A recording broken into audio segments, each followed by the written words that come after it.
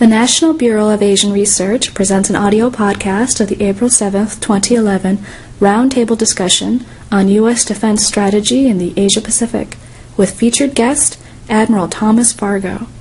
To listen to more podcasts of NBR events, please visit our website at www.nbr.org. Well, I'm going to turn it over to the Admiral, but uh, before we go into substance, I'm going to ask him how a guy with glasses gets to be a four-star. Are you from a long tradition of, of Navy families? And as a submariner, I would have made the same mistake. How do you get from the beginning of that career to commanding everything in the Pacific? Man, it was a. Uh, you know, it doesn't seem like it was that long ago, but uh, I grew up in a Navy family. My father was a naval aviator, and my mother was a, a Navy nurse in, in World War II and served throughout the Pacific. Uh, I actually supported the Marines eventually on Guadalcanal, uh, and not in the early days, but in the, in the latter days of Guadalcanal. Uh, my grandfather was a naval aviator also. He was naval aviators. Uh, when you get your wings, they give you a number, and he was naval aviator number 1599. So. Uh, not quite as far back as the Wright brothers, but but, Darn but close. but close. And so, uh, uh, you know, I, my parents, uh, you know, watching them move from you know, San Diego to Washington D.C. to Japan, uh, it was pretty clear to me that, that they very much enjoyed this lifestyle and, and the, the friends that they met and the, the camaraderie of uh, of the Navy. And uh, so I, uh, you know, I was a volunteer, uh, but my father being a, a planner, I mean, he he never left anything uh, uh, to chance. So one day uh, he shoved this application in front of me, and I said, "What's that?" And he said. That's your application to the United States Naval Academy. Sign here. so I knew where you were going. I, I said, uh, I said, uh, don't have to write a, you know, an essay, you know, why I want to be in the Navy or something like that? And he said, you already have. Just sign so, so that's uh, so that's kind of how it started, and I, and I, I wanted to be there, and I was telling the senator, uh, I went down to take the, the flight physical, and uh, the guy said, read the chart, and I read the chart, and he said, now do it without squinting, and we eventually got to the point uh, where we decided I couldn't read it without squinting, and so he uh, he stamped it, you know, not qualified to, to fly, and so I had to think about about something else. And of course, this was uh, this was 1970, and we were we were right, uh, you know, in the uh, in the middle of the Cold War, you know, really. And I, I looked around, and and it, it uh, seemed to me that that a big part of of the Navy in the future was going to be the submarine force, and uh, you know, we were moving into what I call the hunt for Red October era uh, with uh, the Soviet Union when you know, their, their nuclear missiles were at sea, and, and that was the largest threat to our, our country, and our submarine force was, uh, was probably the most uh, potent uh, system to counter that, that capability. So, so I went to the submarine force and uh, was very fortunate to work for a lot of uh, great folks uh, growing up, one of which I saw last night, Tom Hayward, you know, who was at the session at the University Club. And, uh, you know, between uh, uh, a lot of great guidance and a little bit of luck, ended up as the Pacific Fleet Commander and then the PACOM Commander out in Honolulu. So that's kind of how I got here. Wow. Well, I note that uh, from what Rich has given, you know, you only fairly recently returned from your first trip to China in quite a long time, probably since you had that command. What's the difference? What's the challenge? What's going on? Well, you know, it is. A, it's almost better going back after a, a five-year gap because it gives you a, a, much better sense of the kind of progress uh, that's been made, the change, you know, the uh, the dynamics of, of the problem. I, I'd made a number of trips uh, when I was the uh, Pacific Fleet Commander and the and the Pacific Commander, uh, you know, got to uh, to Qingdao, Beijing a couple times, Shanghai, um, out out in the west to Chengdu as well as as Hong Kong and Nanjing and Ningbo. Just uh, you know, in, in the various trips, very fortunate because, as you know, uh, our military commanders right now, uh, with the military to military relationship, uh, kind of just getting back, uh, you know, up to speed again. I haven't had that same opportunity. Uh, But the, uh, the change was, uh, uh, was very evident, uh, especially when you, when you looked at the PLA. Uh, The, the maturity uh, and, and I would say the sophistication of the officer corps, I thought uh, had, uh, had improved dramatically. You know, six, seven years ago, when you would go have a conversation, or what you hoped was a conversation with your counterpart in China, uh, they read a set of talking points and and sometimes nonstop, as you all know, for 20 or 30 minutes at at length, and it was very difficult to to break in uh, to the the dialogue. Uh, This time, I I would tell you that the the conversations were what you would hope they would be. I mean, it was a it was a discussion, an exchange, uh, and the uh, the officers that, uh, you know, we were uh, engaging clearly had a a much broader sense of the international community. Uh, And that was at kind of the the headquarters level, the senior folks. When you went out in the field uh, to the 6th Division, one of the uh, Army divisions in the vicinity of Beijing, uh, you could have been visiting an American unit from a standpoint of the manner in which I was uh, uh, accommodated, so to speak, not from a standpoint of the, of the equipment. The equipment and the technology, at least what, what we saw, was still, you know, decades behind our own uh, technology. Like I said, at least what, uh, what we got a, a peek at. Uh, But in, in terms of the, the division commander's ability to brief you and talk to you about his concerns, when you asked him a question, a typical question that, that you might get in Washington DC, you know, what are, what are your readiness shortfalls? You know, what, uh, what is not funded adequately? Uh, You know, six years ago, you'd have gotten an answer that, uh, uh, you know, the, the the party funds our unit at precisely what we need at every turn uh, along the the path. Uh, But it wasn't that way this time. He he ticked off uh, three gaps he had in in funding and capability, uh, you know, in a very precise and art- articulate manner. And then, and then we went and had uh, lunch with the troops, uh, with the enlisted troops, which is, uh, is something that you never, uh, you never really got a chance to engage the PLA enlisted folks at any level uh, before. Now, granted, this was probably a, a crack unit. I mean, uh, not every Chinese Army soldier is 6'1", but but uh, it- you know the differences, their their understanding of of uh, you know what uh, uh, what constitutes uh, readiness, uh, their understanding of the importance of a, of a volunteer force and uh, and very well trained and uh, educated enlisted uh, NCOs and the, the role of the non-commissioned officer in an effective organization, uh, that was a big change. Readiness for what? Uh, um, Obviously, we have seen a very uh, assertive China uh, in the seas and disputes over small islands and uh, natural resources, and much of the usual rhetoric about uh, uh, Taiwan. Um, Do you, do you have any uh, significant insight into what the overall long and medium-term strategy of the Republic of, uh, the People's Republic is?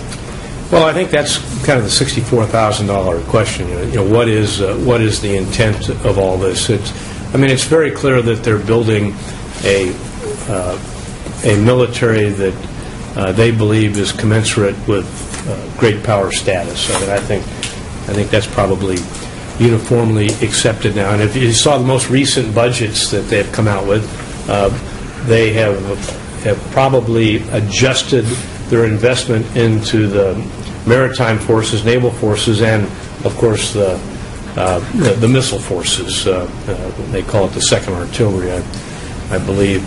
Uh, So they're, uh, in my view, uh, and this is my view, they clearly recognize that uh, if they're going to continue to grow and expand, uh, that uh, the the movement of of raw materials and resources into China uh, via what you would call the sea lines of communications uh, is going to be critical to them. And so uh, they're going to build, I believe, maritime capability that they they feel can uh, defend their interests in that regard. Now, the the rocket forces, of course, are they're a, a different story. I mean, they they project, uh, you know, well out past the first island chain or the second island chain, and uh, and they they have uh, uh, an offensive power projection capability that uh, that you have to wonder uh, what you know the end objective of that capability really is. You know, I think, I think time will will tell. It's it's very hard to uh, uh, to know precisely how they will use this capability. They would tell you it's uh, it's all uh, defensive uh, in nature, uh, but it does make their neighbors nervous, as as you brought up, Senator. What- you know, what we know is the new assertiveness has also led to what you might call the new clumsiness, and that is that whereas over the years this kind of soft power strategy, the peaceful rise of China, uh, has given way to what you might almost call diplomatic mistakes over the last year with their position with respect to uh, the sinking of the Cheonan, uh, their position with respect to the attack on uh, uh, the South Korean island at uh, Waipido, their very vocal position in terms of the of the South China Sea and the areas that uh, obviously that their neighbors operate in on a regular basis. So uh, this uh, this new clumsiness has has led to a degree of concern in the region as to you know what is the ultimate intent. Has that, uh, well, call it new clumsiness, uh, in- in in your view, with a representative of our most important ally sitting right the, uh, right beside you here, has it changed our relationships uh, with the other, with, uh, with our allies and friends in the immediate area of China? Well, I think those relationships uh, have have always been strong. Uh, You know, when I look around the region, of course, our relationship with uh, Japan is is second to none. It uh, you know, over the last 50 years, we've built a a tremendously close relationship, uh, uh, you know, from, really from the from the bottom up, uh, you know, the uh, the Japanese uh, Maritime Self-Defense Forces, the Japanese Self-Defense Forces, as well as the nation-to-nation relationship. And and you're seeing that in play right now as, uh, as we try to support our good friend and ally. And, and the, re- the relationships, uh, alliance relationships with uh, Korea, with South Korea, uh, Thailand, uh, Australia, and the Philippines are, are very good. The relationship with Singapore uh, has been absolutely rock solid for the last 15 years.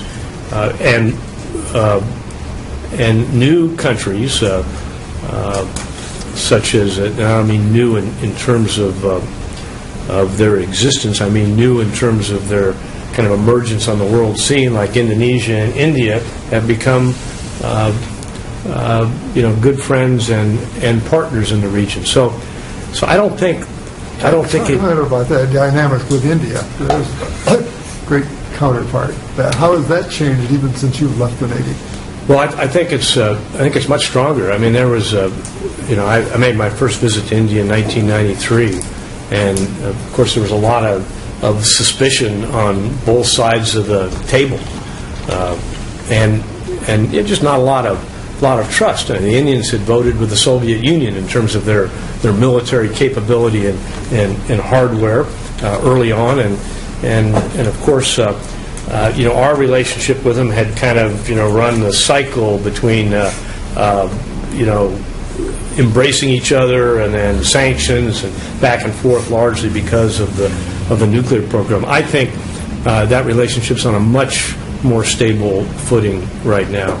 Uh, on a military to military level, uh, we operate uh, together and exercise together uh, very frequently. Uh, we do air to air operations with their tactical aircraft and our aircraft on a, on a regular basis, and, and we participate in humanitarian assistance and disaster relief efforts like the tsunami relief effort 2004 uh, in a very closely coordinated manner. So uh, that relationship, I, I think, is uh, uh, is uh, much improved, and I think all of the vectors are in the right direction. Were you Pacific Commander in 2004?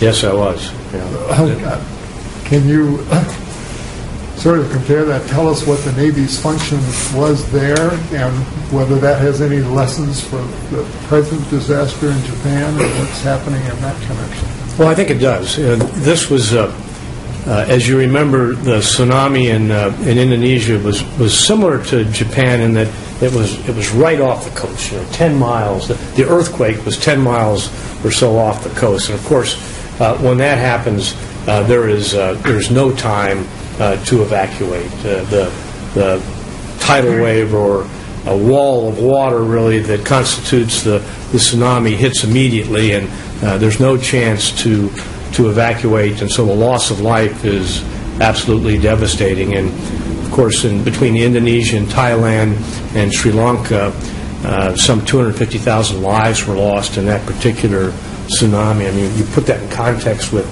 uh, with almost anything we've seen in our lifetime it's uh, it's really tremendously dramatic uh, But, you know, these relationships that we were talking about had been in place. I had uh, been the Pacific Fleet Commander for three years, and then uh, at that point in time, the Pacific Commander for uh, for over two years. So uh, the personal relationships that that I'd built with the military commanders in the region were were really very robust and on a on a uh, professional level, and as I said, and a personal level. So that morning, I remember it was Sunday morning, uh, the first call I got was from Peter Cosgrove, the head of the Australian Defense Forces, and that was a key call because uh, they had great insight into Indonesia, and they were going to be uh, probably our leading partner in the disaster relief effort. But that was quickly followed with a series of, of calls with uh, the Malaysian Chief of Defense, the Thai Chief of Defense, obviously the U.S. Ambassador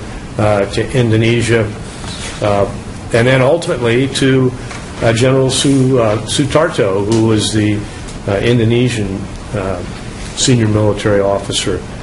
What that what that provided for us was the ability to kind of cut through the bureaucratic red tape and gain access to key locations uh, where we could provide support, such as uh, Singapore at uh, Changi, uh, the airfield at Butterworth in Malaysia that was right across from Aceh in, in Sumatra. So uh, we were able to, to move uh, with much greater speed and, and alacrity than we would have been otherwise if we had to go through the normal uh, approval circuit to, to gain access. In Japan, uh, it's a little different. You know, since we've had you know a very long-standing relationship and, and we operate from joint bases with uh, the Japanese in places like Yokota, uh, Yokosuka, Misawa, uh, all you know in in pretty close proximity to Sendai. Uh, we already had infrastructure in place uh, that we could we could move supplies into the area to conduct search and rescue operations to uh, to partner uh, you know absolutely in support of the Japanese self-defense forces. So so it's a little different from that standpoint, but almost almost every operation of this nature is going to require some uh, key components right off the bat. And Uh, Obviously, that we talked about the search and rescue piece to make sure that you've saved every life that you possibly can.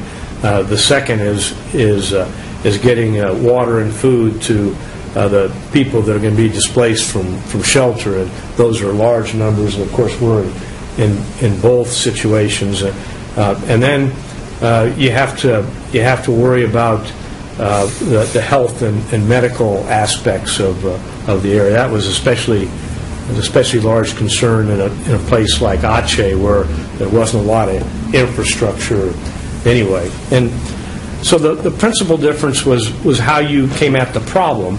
Uh, In the, in the, the Boxing Day tsunami, uh, we immediately got uh, the aircraft carrier underway from Hong Kong and sent that uh, south through the, uh, through the strait to the tip of Sumatra, as well as amphibious shipping, because we recognized, since there weren't going to be airfields uh, that had any significant size or, or capacity, we were going to have to do an awful lot of this support effort uh, from the sea, you know, from the, the large decks of an aircraft carrier or amphibious ships. And, the, and of course, our allies did the same thing. We had some 15 navies involved. Uh, Singapore sent, uh, uh, you know, landing ships that had both amphibious uh, craft, uh, you know, and helicopters that could provide lift. Helicopters end up being probably the most valuable asset, whether you're in Japan or, or Indonesia, because you have to be able to get to these places that have essentially been cut off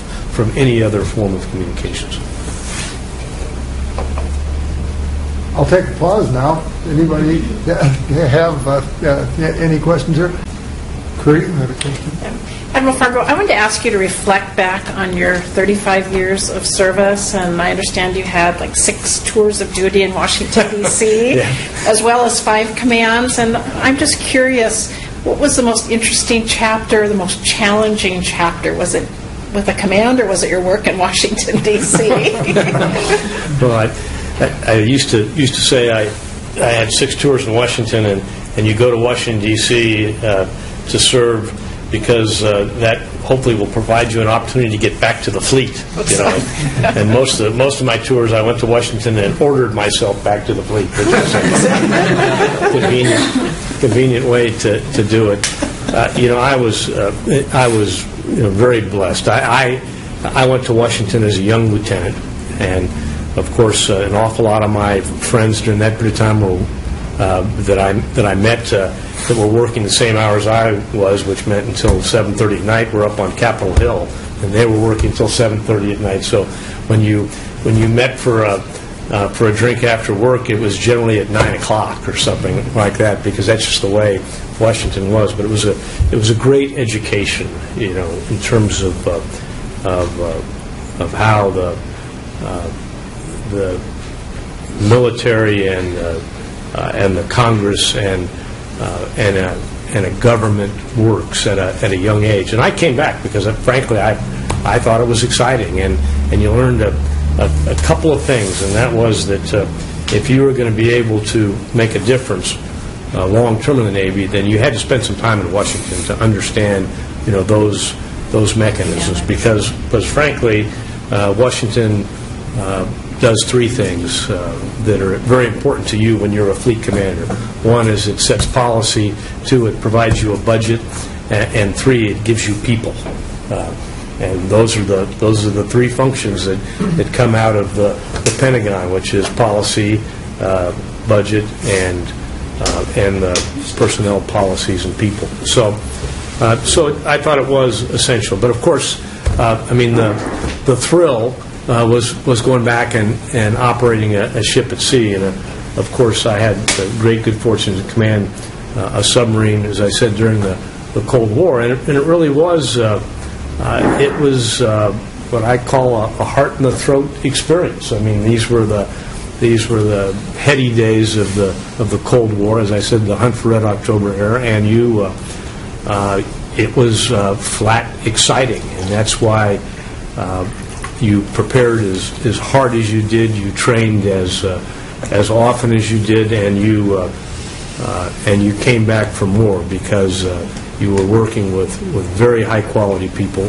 uh, you were doing something that you felt was uh, tremendously rewarding and im- important, and that you were making a a contribution. So, so we stuck around, you know, in my case, for for 35 years. Uh, In terms of, if I had to, if I had to say the most uh, unusual uh, and interesting tour I had was probably when I commanded the uh, U.S. Naval Forces in the Middle East in the Fifth Fleet, and I lived in Bahrain. Uh, Of course, Bahrain's in the news, uh, unfortunately, a a lot today. But, uh, you know, I'd lived in Japan, and I enjoyed Japan, uh, you know, both as a as a young kid in high school and later on in the Navy.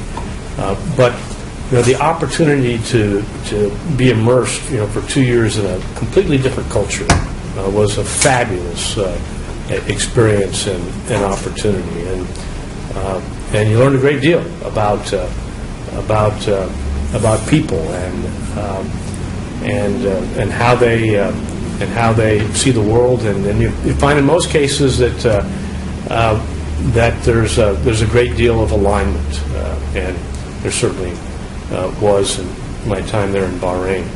Uh, the toughest problem I ever dealt with, uh, without a doubt, uh, was the uh, the sinking of the Ehime Maru when I was the Pacific Fleet commander, and uh, when we unfortunately had a had a tragedy where a submarine uh, surfaced underneath the Japanese training ship, and and nine lives were were lost. Uh, almost ten years, uh, uh, ten years ago, I think in, in February, if I have it uh, correct. Uh, and that's a that's a separate story on, on its own, but uh, uh, the effort the effort to deal with that appropriately was uh, uh, was really very complex, and that, and I'll, I'll give you kind of the bottom line, and we can talk about it offline later. But but the lesson that I learned was that, uh, and what we tried to do uh, was what I call the case for transparency, and and that is that if you don't, uh, in this particular case, we did a uh, an open to the press court of inquiry. We put a Japanese naval officer on the court, and we uh, and we uh, made it all available to the public. And what I learned over over a career was that if you didn't build that kind of transparency, you would never get past the event. And uh, we learned that our whole life. If you look at things like uh, uh, Watergate, um, if you look at uh, in the in the Navy, tailhook uh, was an example where uh, people just never felt that they understood uh, the whole the whole story. And when if you don't build that degree of transparency so that everybody believes that they know essentially all that there is that can be known about a, a tragedy or a crisis, uh, then you can't get past it. And that was the lesson. Tom, let me um, ask a question. I know that's kind of behind everybody's concern about Asia today, and it has to do with China. I mean, the rise of China is a historic, momentous uh, phenomenon. Um, in fact, many argue it's just simply China, given its size um, and historic role, is simply returning to what it was, except for a few hundred bad years um, as the center of, uh, of world commerce and production and population, all this stuff. Um, the question, though, is, of course, in in this rise of China, is the unpredictability of its political system.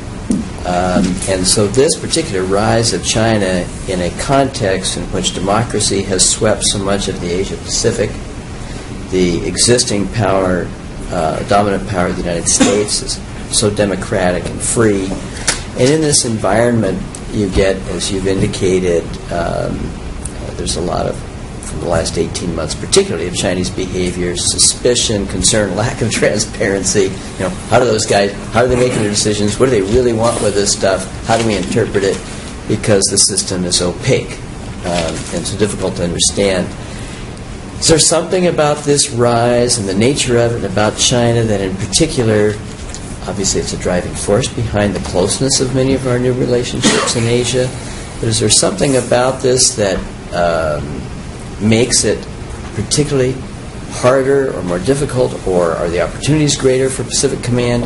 As a commander sits out there and deals with this phenomenon, I mean, the concrete military threat that's growing to the ships we have and so on at the same time. Lion, it's a big complicated thing. China is just permeates everything. Every thought. Yeah. Where do you want to start? Well, let me talk about the transparency. You know, it, it is amazing. It, it, so it's it's 2011 now. Uh, my last visit to, to China before I retired was 2005, I guess, or late 2004. And I'm sitting there um, getting dressed, watching CNN, the typical 7 o'clock, and I'm putting my tie up, and uh, uh, I'm watching uh, a CNN report, and they're talking about a, a human rights uh, issue uh, in Australia. And there's the Chinese ambassador to Australia, and all of a sudden the TV went blank. And, you know, I kind of knocked it on the corner, looked at the plug, and, and I changed the channel, and there's something on the other channel, and ch- changed it back, and and uh, 60 seconds later, TV TV came back on. And I go, am, am I really seeing this? I mean, they just censored they just censored that report, and I'm in a I'm in a four star hotel, and you know, and it's it's 2005. I said it just it's hard to believe, and in the context of uh, that we live in today, that that that that can happen, and of course, still happens.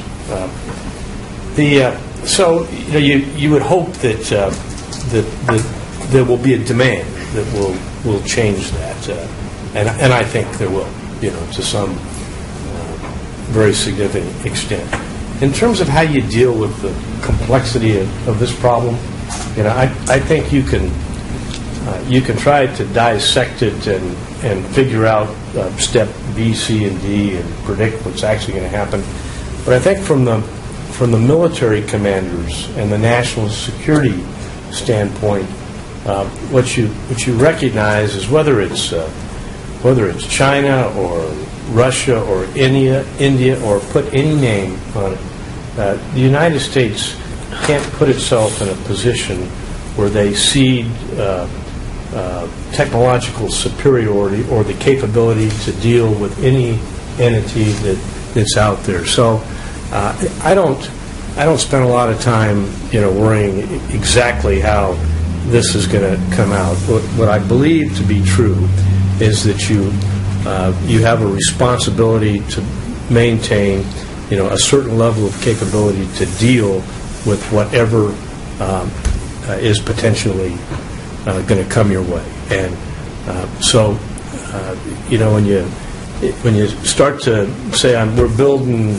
capability to deal with China, I, I think I think that's probably uh, you probably need to deal with it in a much broader sense than that because nobody's crystal ball is clear 20 years out. I mean, we we proved that day in, uh, day in, day out, year in, year out. So Sometimes 20 days out. yeah, 20 days. yeah, I'm, well, I don't know where I'm having dinner tonight. You know? That's- the, uh, so, so you. Uh, I'm in charge so, of that. It is. So that's our that's our obligation is to to maintain uh, that capability uh, to advance uh, from a technical standpoint, so that we can uh, we can deal uh, with whatever may be the situation 20 years from now. Uh, uh, and in a, in a manner that will uh, protect the security and the interests of our country. Walt? One area you haven't touched on, Admiral, is Korea. I wonder if you could talk a little bit about the military perception of risks and hopes, South Korea, North Korea relations, North Korea, China, change in leadership in North Korea, nuclear threat. Yeah, you know, the, the Korea piece is, uh, is uh, one of the great constants in my career. Uh, You can always uh, predict that you will not be able to predict what North Korea will do next. Uh, It's, uh, it has been, like I said, it it has been uh, pretty, pretty steady. Uh, You know, starting with the foundation, uh, we've you know, we obviously have a very strong uh, alliance relationship there, Uh, but it's changed, you know, dramatically, probably over the last 10 years, and will so in the next, in the next 10 years. Uh, it- You know, we used to have a uh, a much larger presence on uh, the Korean Peninsula, and frankly, uh, if you'd asked us 15 years ago uh, who would be doing the majority of the fighting if there was another conflict on the peninsula, it would have been the United States and, uh, to a lesser extent, the United Nations uh, Command. Uh, I think that's changed uh, dramatically. The, the, the quality of the North Korean, uh, of the South Korean military is much higher. They fly very high performance uh, aircraft. They have they have a very capable ground uh, defense force. It's not as large as the one million North Korean uh, end-strength army, uh, but it's uh, hugely proficient. And as you know, uh, we're on a path to actually transfer command from what's always been a, a U.S. command there in the Combined Forces Command on the peninsula to a Korean-led Combined Forces Command. And uh, that's very appropriate. Uh, That, that path has been slowed down, or that transition date has been moved to the right uh, by two or three years based on the most recent uh, North Korean actions. But, uh, but I believe that, that it, that will happen and, and should happen because uh, frankly, the, the relationship has matured to that point and the, the quality of the South Korea and the ROC military leadership uh, has changed. Uh, You know, I think the, I think it's hard for me to come to the conclusion that North Korea is going to give up these weapons. Uh, I, you know, we, we keep getting uh, taken down that path to some significant extent, and we raise these, these hopes, and, uh, and then it, uh, it seems to slip back into its current posture uh, once again. I, I just think that, you know, uh, you know, job one for the uh, Kim family is uh, to uh, uh, to still have a job for the Kim family, and and frankly, I, I think they think that the at least either the presence or the illusion that they have nuclear weapons is important to that.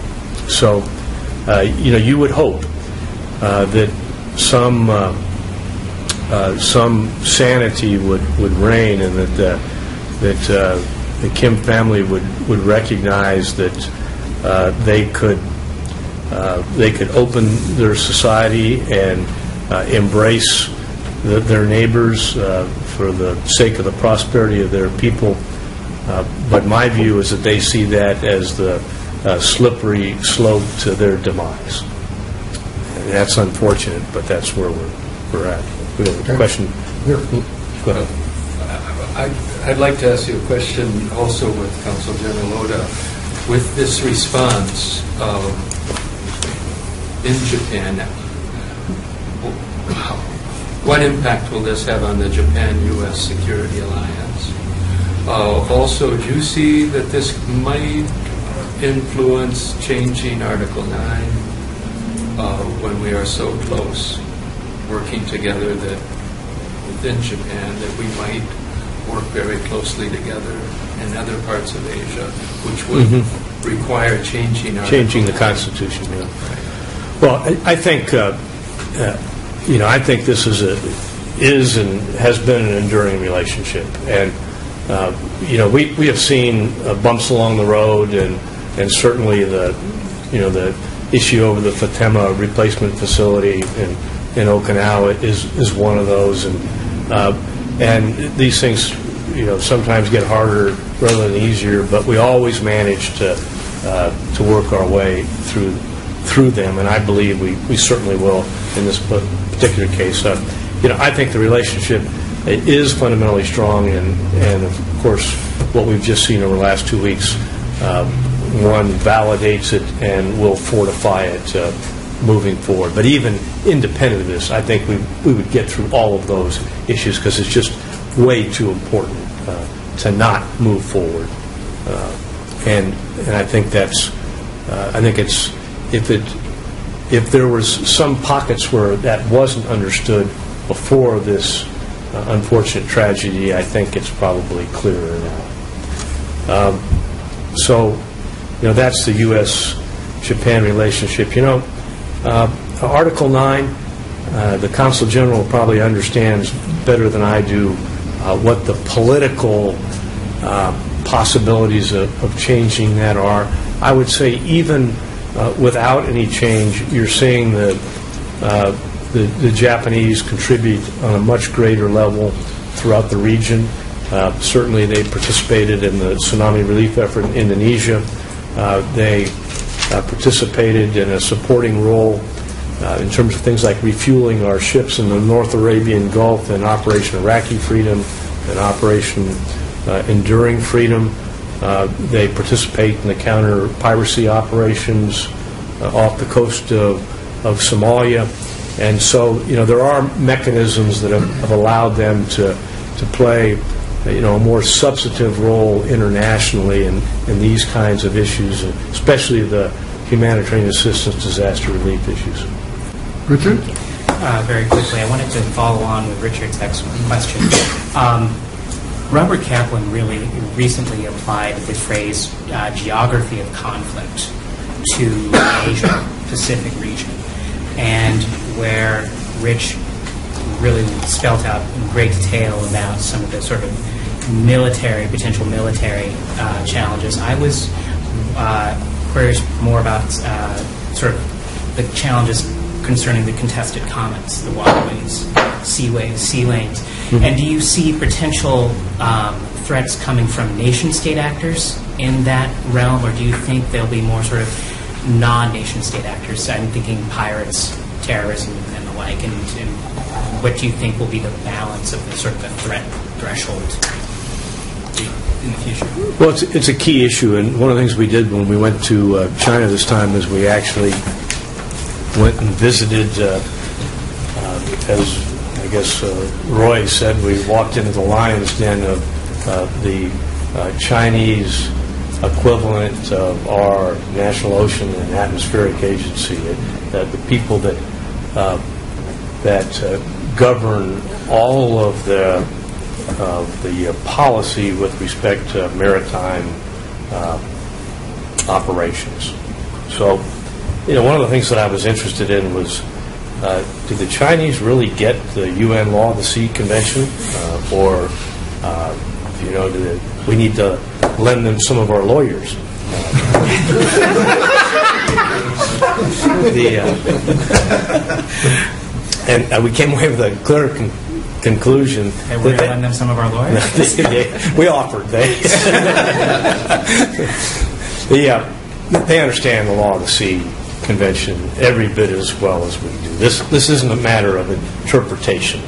This is this is frankly uh, they don't want us operating uh, in uh, any of the areas adjacent to China, and they would like to come up with some uh, convention to allow to push us away.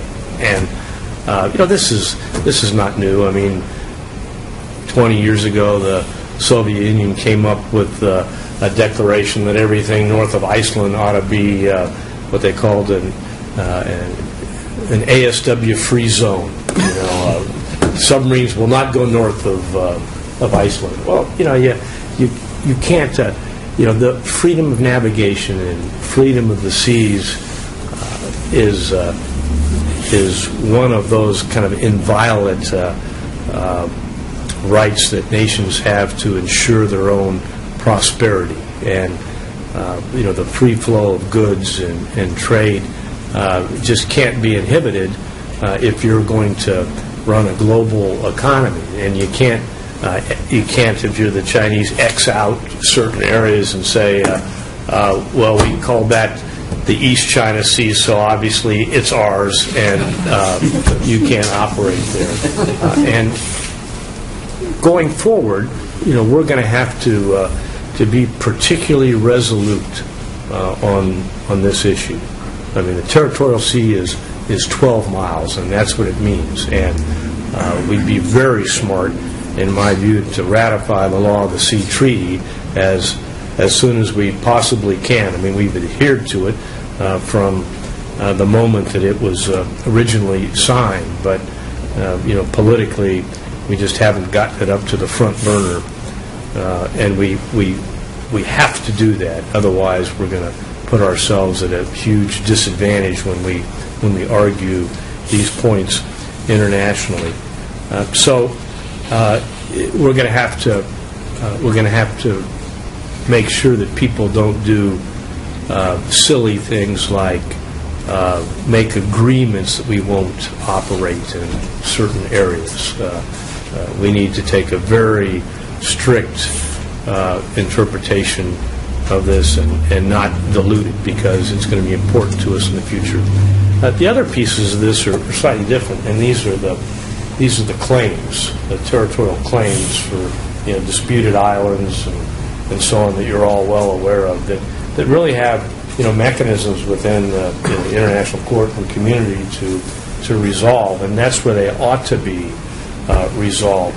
Uh, But once again, uh, you know, those, uh, even once they're resolved, uh, they're still uh, an inalienable right, so to speak, for free passage uh, to ensure that, that trade, um, you know, can move where it needs to move, and that militaries uh, can operate, uh, you know, freely within uh, that convention. So I think uh, uh, you'll you'll continue to see the Chinese push, as we've seen other people push, uh, and and we've got to kind of hitch up our britches and uh, and stand up to them. One last, one last brief question, because we're just about at the end of the time. Is there any function for the United States Navy, potential at least, in a Libya, every significant portion of which is within five miles of the sea, other than just as a landing and a taking off field for aircraft? In the, you mean for the Navy? Yeah, for the Navy? Well, of course, the Navy, uh, the Navy was very much involved in the, in the opening, uh, uh, opening efforts of the establishment of the no-fly zone. They shot some 200 Tomahawk cruise missiles from submarines and surface ships that took out uh, a lot of their air defense sites, uh, some of their command and control facilities, you know, the key elements that would allow their Libyan military to threaten uh, their own people. Uh, So it's a significant effort, and, uh, and of course, uh, uh, you know, should you, um, should you change the mission, which I wouldn't advocate, then, you know, my guess is that certainly amphibious forces would have a role in a future Libyan effort. But I, I think right now we've, we've got it about right. Uh, uh, We've, we've established a no-fly zone. Uh, We have interpreted it very liberally to mean not only planes, but, uh, but tanks and, and other military capability that threatens, uh, um, threatens the Libyan people, uh, and as well as their command and control uh, locations throughout the country that, uh, that operate, uh, you know, those significant forces. Admiral Fargo, I just, I want to say thank you. Uh, Thank you for your years of service to our country, and thank you for being here today with your very insightful comments.